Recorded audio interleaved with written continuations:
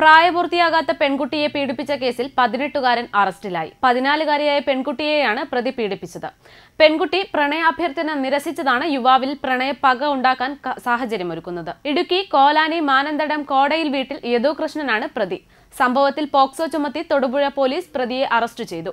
കഴിഞ്ഞ ഒരു വർഷമായി പെൺകുട്ടിയും യദുകൃഷ്ണനും തമ്മിൽ സൗഹൃദത്തിലായിരുന്നു. തുടർന്ന് പ്രതി പ്രണയാഭ്യർത്ഥന നടത്തി. ഇത് നിരസിച്ചതോടെ പെൺകുട്ടിയെ വാഹനത്തിൽ തട്ടിക്കൊണ്ടുപോയി പീഡിപ്പിക്കുകയായിരുന്നു. പോക്സോ കോടതിയിൽ ഹാജരാക്കിയ പ്രതിയെ റിമാൻഡ് ചെയ്തു. പ്രണയത്തിന്റെ പേരിൽ ദിനം ദിനം ഒട്ടനവധി പേരുടെ ജീവിതമാണ് പൊലിഞ്ഞുകൊണ്ടിരിക്കുന്നത്.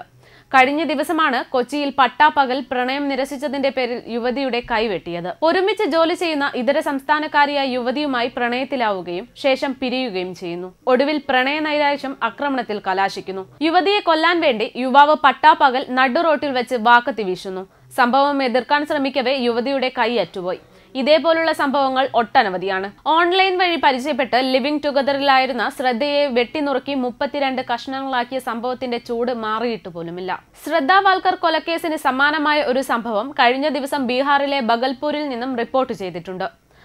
ഭർത്തൃമതിയായ നീലം ദേവി എന്ന യുവതിയെയാണ് ഷക്കീൽ എന്ന അക്രമി നിർദ്ദയം വെട്ടിക്കൊലപ്പെടുത്തിയത്. നീലം ദേവി വിവാഹിതയാണ് എന്ന് അറിഞ്ഞു തന്നെയാണ് ഷക്കീൽ ഇവരെ സമീപിച്ചത്.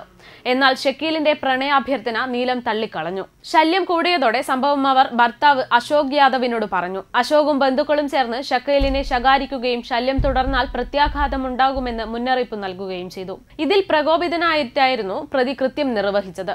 ശനിയാഴ്ച വൈകുന്നേരം ചന്തയിൽ നിന്ന് മടങ്ങുകയായിരുന്ന നീലം ദേവിയെ വഴിയിൽ പതിയിരുന്ന് ഷക്കീൽ ആക്രമിച്ചു. കത്തി ഉപയോഗിച്ച് ഇയാൾ ഇവരെ ഇരുപത്തിയഞ്ചോളം തവണ വെട്ടി.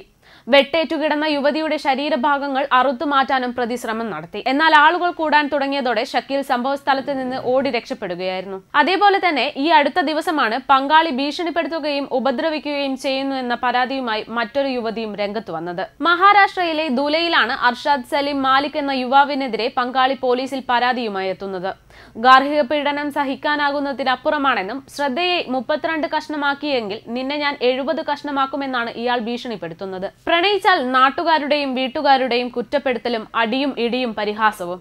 എന്തിനധികം പറയുന്നു പ്രണയിച്ചതിന്റെ പേരിൽ ദുരഭിമാന കൊല നടക്കുന്ന സംസ്ഥാനമാണ് കേരളം. ഇതിനെല്ലാം ഇടയിലാണിപ്പോൾ പ്രണയം നിരസിച്ചതിന്റെ പേരിലും ക്രൂരതകൾ. സ്ത്രീകൾക്ക് യാതൊരു സുരക്ഷയുമില്ലാതായി മാറിയിരിക്കുന്നു ഇപ്പോൾ കേരളം. യെസ് എന്ന് പറഞ്ഞാലും നോ എന്ന് പറഞ്ഞാലും സ്ത്രീകൾ ഇരയാക്കപ്പെടുന്നു. തന്നെ പോലെ എതിർഭാഗത്തുള്ളവർക്കും അവരുടേതായ ഇഷ്ടാനിഷ്ടങ്ങൾ ഉണ്ടെന്ന് എതിർവിഭാഗക്കാരും ഓർക്കുന്നത് നന്നായിരിക്കും. News desk Karma news.